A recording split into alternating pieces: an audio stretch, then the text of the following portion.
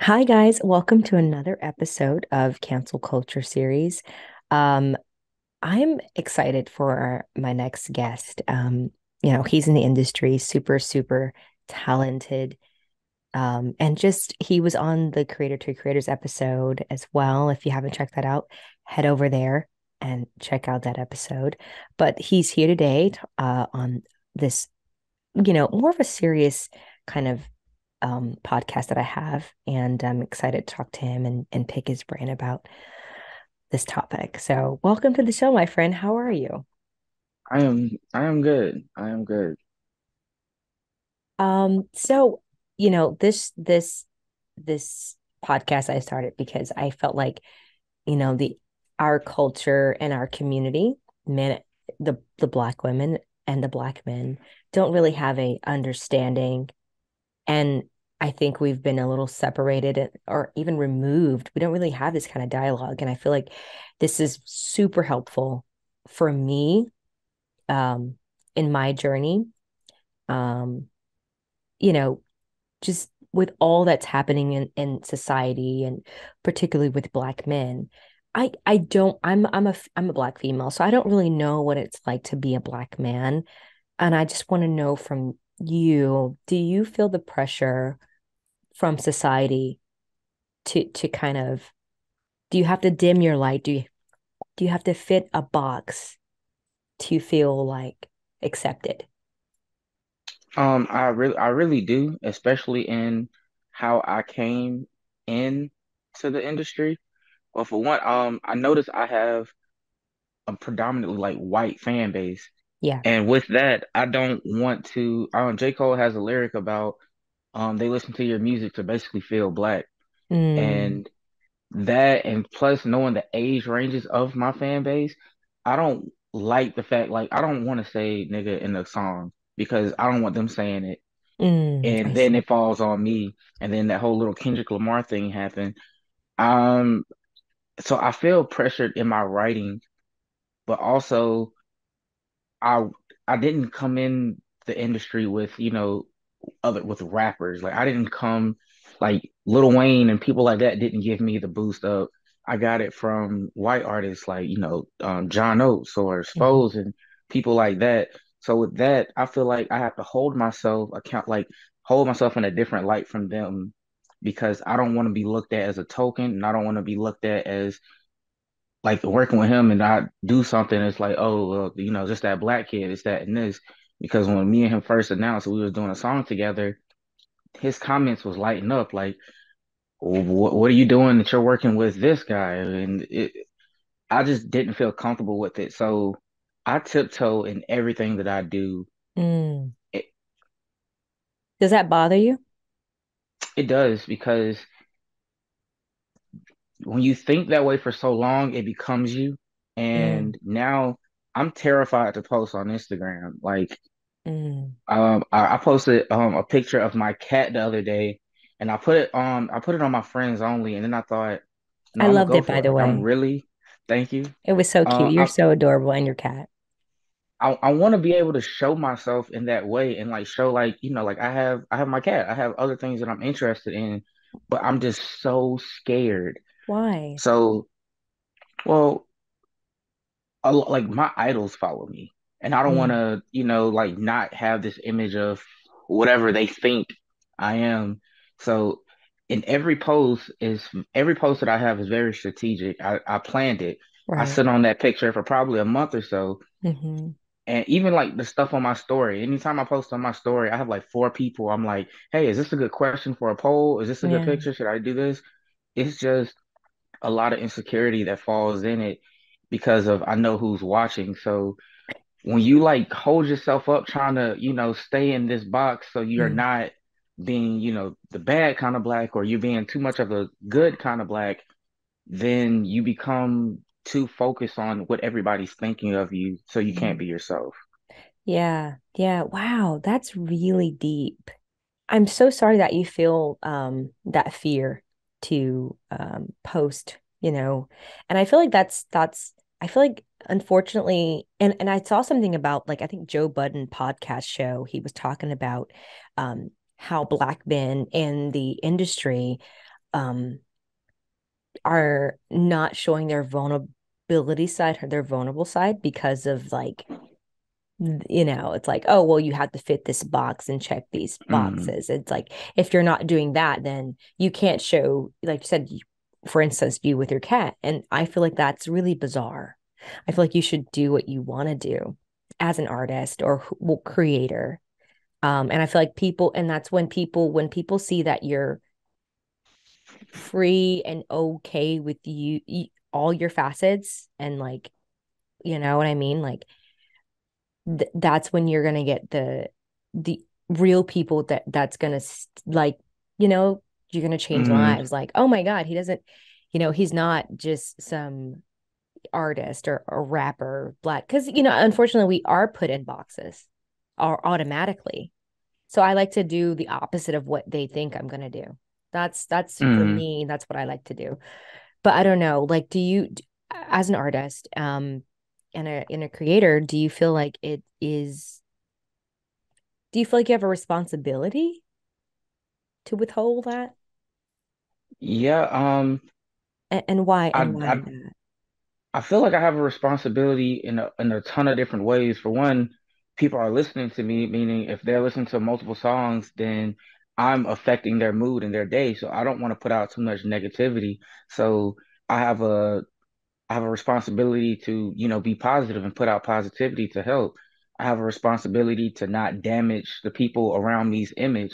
So if I'm working with John Oates and he's helping me, giving me alley oops, then I can't be out here saying all kind of wild things in songs and doing too much. Um, I I don't want to damage his brand and trying to build mine, but also I have a mm, responsibility to myself to kind of make my art because if I'm feeling a certain way somebody else might be. So it's my job to kind of connect those pieces. So it's a lot of moving pieces in it. I had a guy, um, he wanted me to give him a shout out, and he had a song talking about killing, and he had girls twerking in it and everything. And I mean, that's that's cool for you, yeah but it's not my brand. And it was Mhm. a whole thing because I couldn't promote that on my page. question now th- this is just like a, a broad question like you know you have Mm, your cardi b's you have your Megan Thee Stallions people that are mad and successful making millions of dollars and you know you know me okay you have Megan Thee Stallion interviewing the president of the united states of america and sh- and mm, we know what she sings you know? And he was on an interview with her and they were she's got to interview him. She's in these rooms that a lot of people would dream to get in and she's mm, talking about twerking and you know you know killing women and all kind of things. Even eminem we can go back to eminem. We can go back to a lot mm-hmm, of rappers and their lyrics but i feel like that's a form of art because i feel like there are also not just positive things there's also negative sides to to people as well right? There's that mm, um there's the the um the shadow side of us and then there's that light um, that we kind of wrestle with um, and and if you only show the light which is nothing's wrong with that but i think do you feel like as an artist do you feel like brands or whoever your your um your contract with you can show a little bit of that of like this is kind of something i wrestle with but i don't give into this. This is like ways to go about it to talk about Yeah, those things. you definitely want to have fun in what you're doing and be yourself. So I push for myself to be out there, but also Cardi B, one thing I really disagreed with her in is hmm I don't step on nothing she does. You know, do your thing. yeah But she said that she's not trying to be anybody's role model. It's not that you're trying to be, it's just you fall in line to be because they're going to listen to your music and think your lifestyle is cool because you're yeah popular and you're on the radio. yeah So you have that and you're stuck with that. And I noticed in my history as as a teacher, I'm not trying to be a role model. I'm just trying to do a job. I'm trying to educate, but I fall in line to be a role model. A lot of these kids don't have dads, yeah especially the black kids, and they a lot of black kids don't see a black man in a suit unless it's court or you know they're famous. So I I take on this responsibility, a part of that job. So in music, it's not that I'm trying to be you know this uppity person or be anything outside of that, but somebody is going to. I know I go live on Twitter. I mean not Twitter, TikTok all the time, and it's these like 14, 15 year olds even 17, like different ages. I have this kid, this guy that's 21, that's like a few years younger than me, but he's there all the time. He's always like sending gifts and stuff on there, even when I tell them not to. Mm-hmm. And anything I do, they're on to every word, which is scary, but at the same time, I I'm thrown into this role where I don't want to lead them down no bad path. I don't want to go tell them, yo, we need to be out here robbing and killing and doing all Yeah. of this. And I'm just doing it for an image, and then they really do it.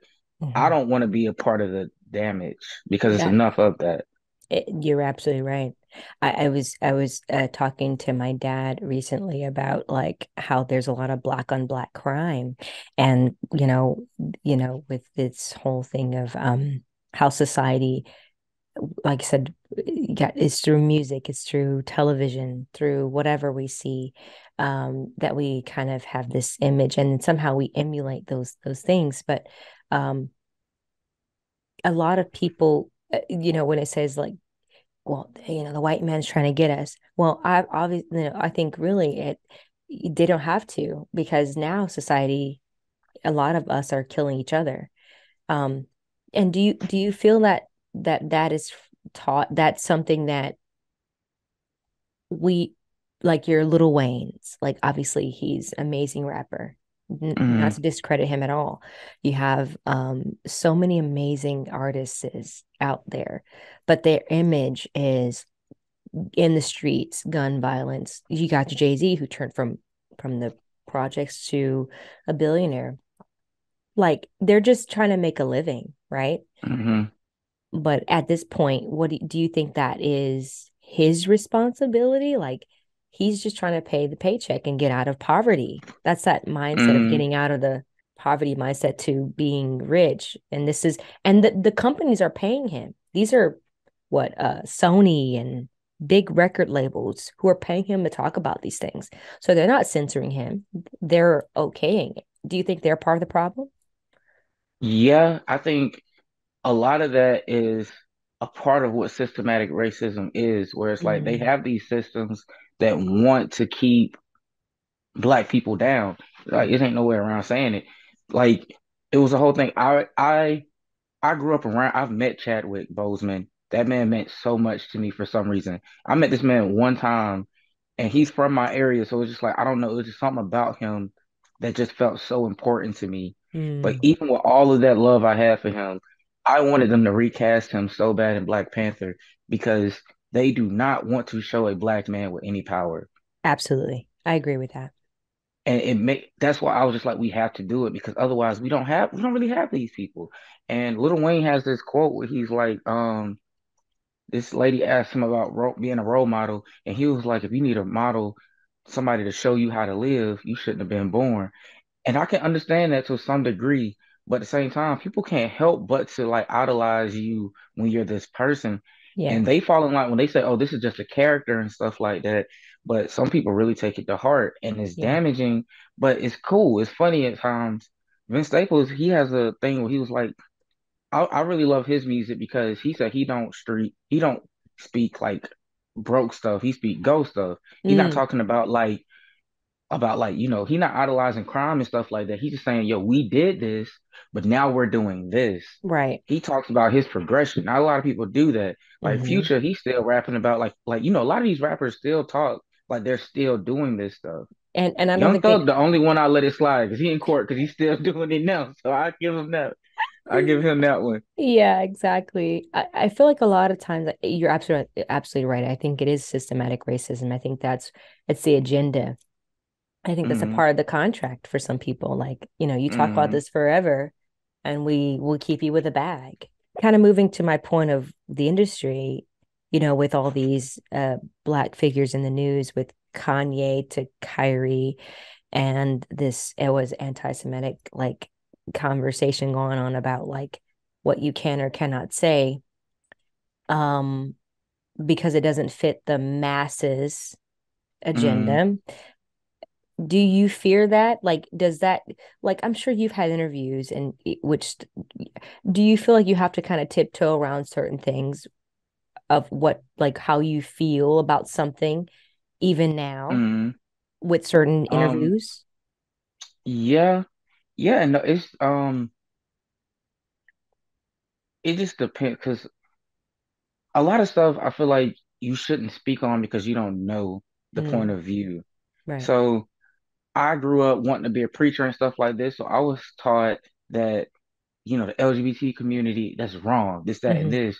Then the hmm older I get, the more it's like, so like with learning, so me growing up thinking, oh, this is wrong, then it's like, well, I do this and this, that, and this, and this is just as wrong. Well, even if I stop this, that, and this, I can't stop that person. I don't feel like God is gonna like dislike you because of this.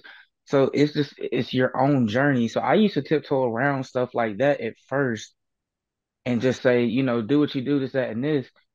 But I didn't have the knowledge to speak on it. Now I feel like I do. So a lot of topics I don't have to tiptoe around because I've educated myself in it, if that makes any sense. Yeah, yeah, yeah. So does. I won't condemn anybody. So I have no, you know, no real topics to try to dodge because I feel like if you speak from your heart about certain topics, even if they're they're hot, and you try to speak from an empathetic point of view, then you're never going to be really wrong about it. Mm, Absolutely. And that's a great point that that you mentioned because I, I feel like like I said, um, you don't talk about such things, certain things that you don't know. Like, but we live in a society where we're in a cancel culture, like where if you hmm say something, like people behind the computers are going to say, well, he should be canceled or that's not right. And, and then the news will say, oh, yeah, he's wrong because he said this. So we have all these bullies running around. And this is like the hmm new, this is like a little scary that society uh, well, majority, I'm not saying everyone, but majority people believe that it's okay to speak upon someone's life or call them crazy or, you know, I think it's really dismissive. I think it's wrong to say that someone's crazy because you don't you don't live with this person. You know, we only see a certain percentage of this person's life on hmm in the media. Um, but I wonder how it fe- like how does it feel for you? Do you feel like it's getting better for black men or do you think it's getting worse?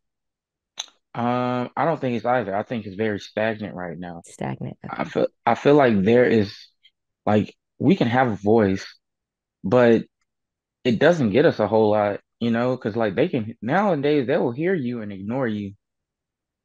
So I feel like it's not really a point of progression anymore.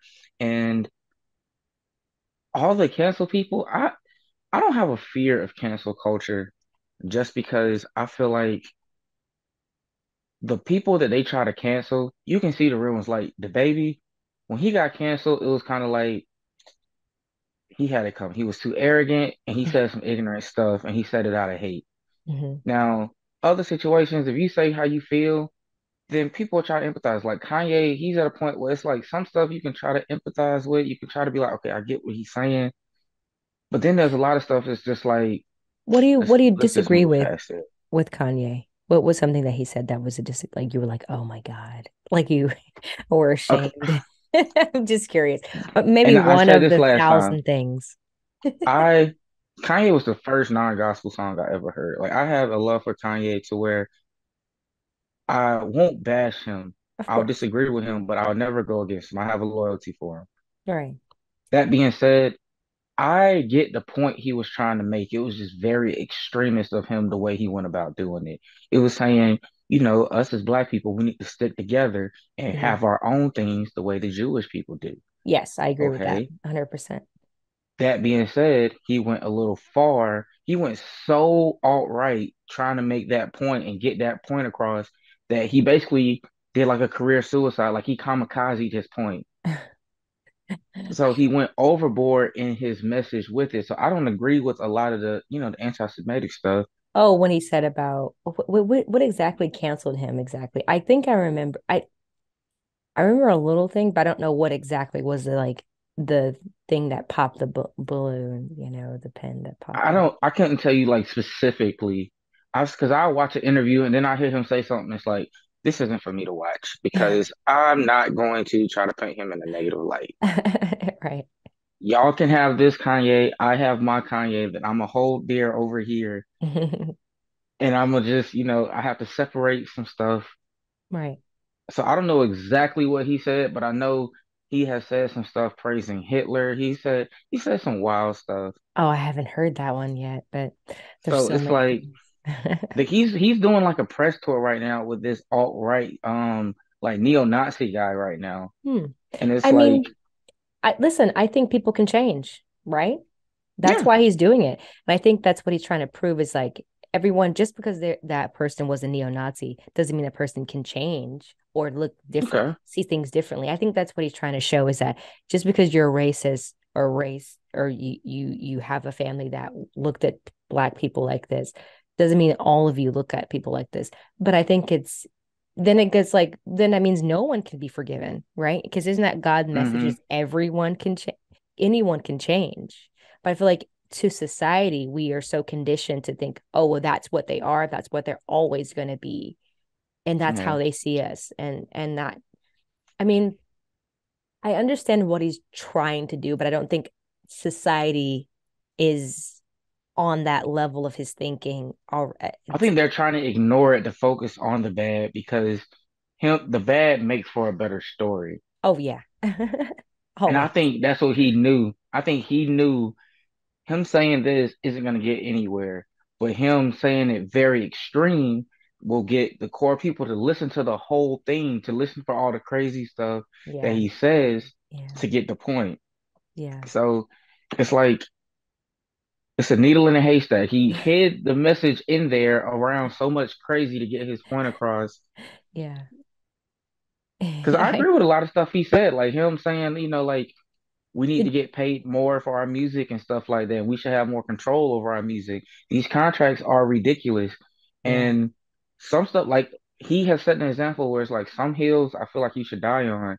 So I I was working with this girl that's, you know, pretty popular and hmm us doing a song. I had I forget what line I said, but I said something like Kanye. Some I don't know what the whole thing thing was, but I said his name, and she was like, "I don't feel like you should put this, that, and this." She started bashing Kanye. I just stopped responding and been like, "Well, I don't want to work with you anyway." But then like I saw her last name just the other week was Rosenbaum, and I was Mm. like, "That makes sense. Okay, maybe I was wrong in that situation. I get it. I get it."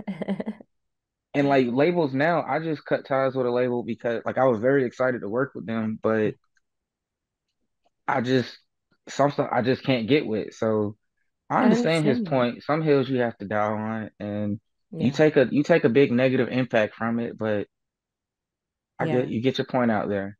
yeah, absolutely.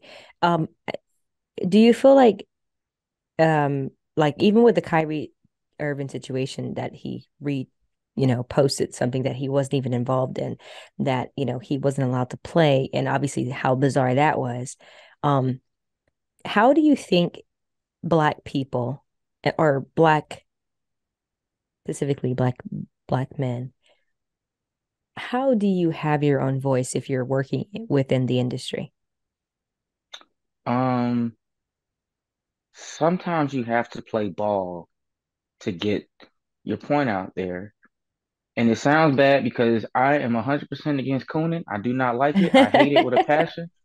that Anytime means I see tap these men dancing out for here, those who don't know tap dancing I said that's that's probably my new favorite word because I use it a lot because it is nothing I hate more than a Conan. And I feel I guess it's a bad word now, but I that is my No, that it's my it's pet great. peeve. It's great. I use it sometimes too. But sometimes you have to tap sometimes you have to tap dance a little bit. But I'm not gonna go, you know, full dance. You know, sometimes it's a little leeway you can give them, but not too much. And so I get it. Sometimes you have to. Uh-huh. And I feel like that's the only way, because like you know, Kanye, the first thing he did with the um Trump thing, when he Yeah. played ball with Trump, we got a lot of stuff out of that that people didn't pay attention to, but hmm he looked a little bit crazy because it was Trump.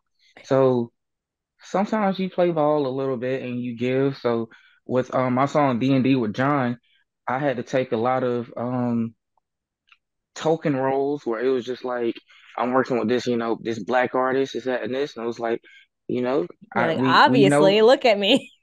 The name is CerVon. They're gonna catch on eventually. You Look know at that me. you don't have to say it, you don't have to say my what I am. I'm, I mean, I, but I but it, it helped. I played ball and I got a good Mhm. return out of it. So you know, good. hey, we good.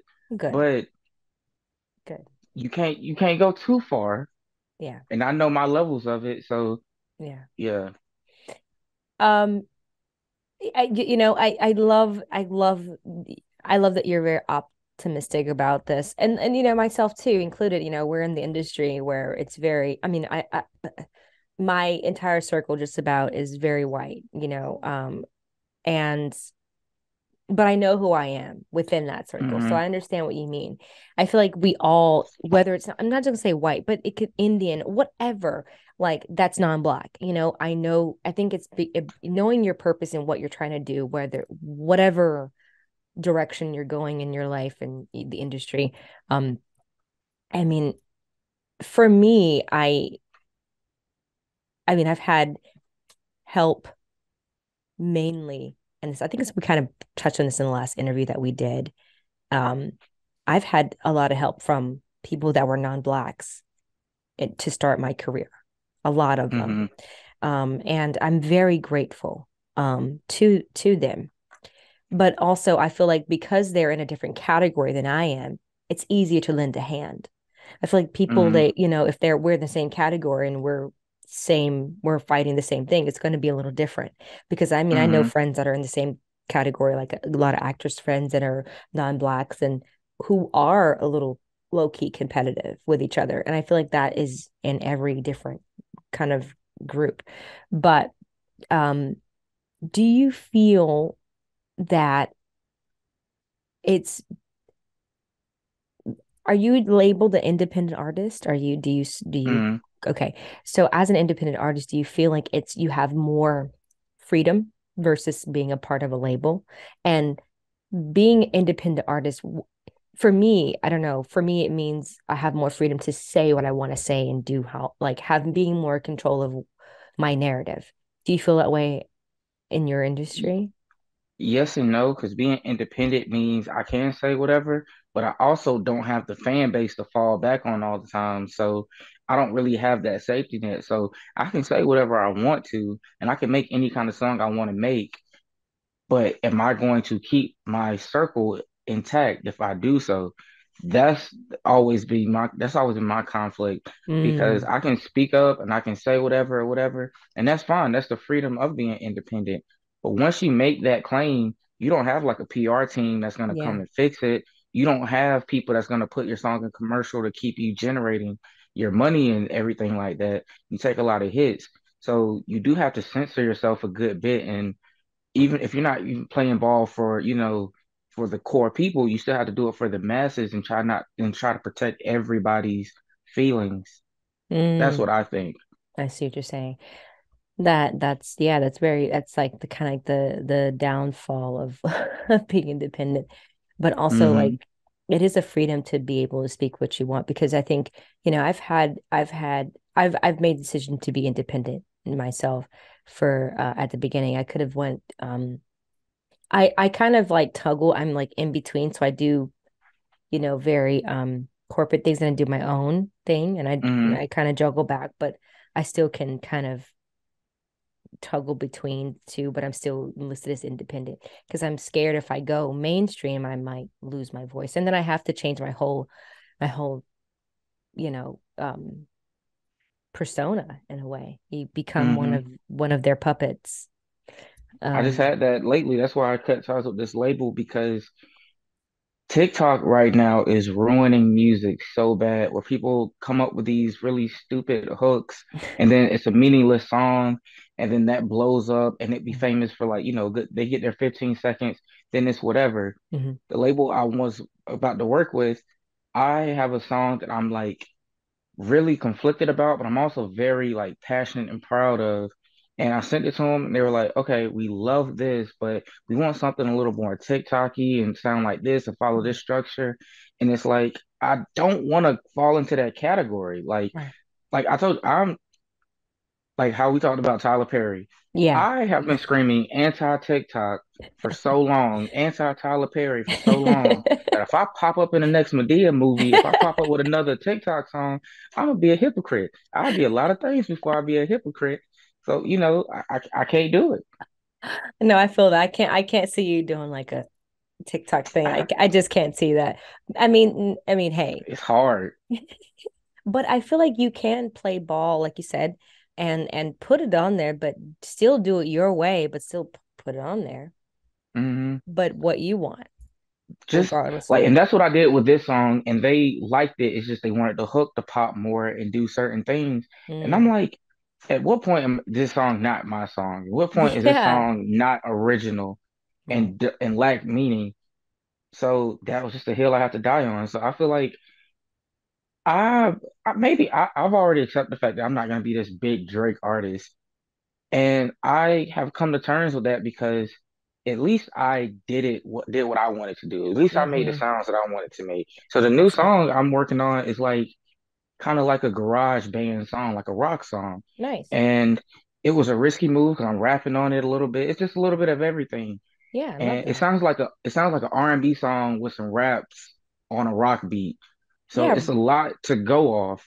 And it's it was risky, but if it flops, it flops. But I it's a hill I had to die on. I did what I wanted to do that that's and that's the freedom and that's what i love and this journey is that we at least you did what you want to do and that's the cross that you have to bear and that if you're okay with that then screw any screw everything else if you're okay and have that peace within yourself that is what's worth it and i think it's just we're again society telling us what's what what a black man should make you know mm-hmm. but uh yeah no i i love that you said that that's that you're okay with that. So hey, um, that makes me happy. Um, thank you for for coming on and, and talking you know a, a, bit about this topic i mean obviously this is an ongoing conversation because there's so many um black men in the news that we see being kind of censored for telling their truth um and hopefully by us talking about it and and and having a conversation that it starts from there and hopefully that that's a small change somewhere that we can see you know at least hopefully this helps somewhere. Yeah every yeah. little bit. Yeah every little bit counts. Thank you again i appreciate you coming on. Where can people find you on social media? Um i am CerVon c-e-r-v-o-n campbell on everything. It's up instagram where i am sex monkey limo driver I love that. Um, thank you again. Happy holidays, everyone, and and happy new year to everyone. Thank you again, and you're always welcome back to come on. I always love talking to you because it's really good insight to just understand, like from your position. Everyone, please follow him. He's amazing. Please, please. download the music. Check out his Instagram. He's absolutely incredible. Until next time, live, love, laugh. Bye, guys.